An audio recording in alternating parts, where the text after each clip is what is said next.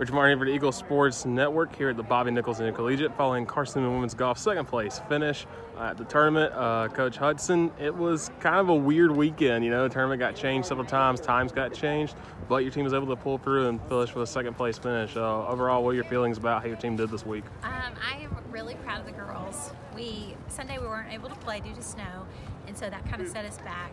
Um, but the girls came out ready to play yesterday. They played hard. We shot 298. And then today we had some harder holes that pushed us back, but uh, they kept fighting and kept playing, and uh, it was a good finish, and it was it was good for our rankings also.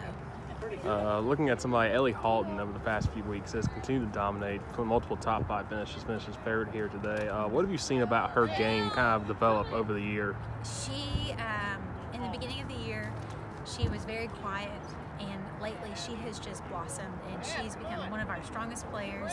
She doesn't give up, she keeps going, she keeps fighting, she never stops practicing. So um, I'm excited to see what she can do at Lander and also at the conference tournament. And then wrapping up, um, just looking at the rest of your team, uh, Hannah Holland kind of stepped it up this week uh, with a almost top 10 finish, just quite missed out the top 10. But the rest of your team, what have you seen from them kind of developing this year? Um, Hannah, absolutely. She has really stepped up and she has um, she's really helped our team.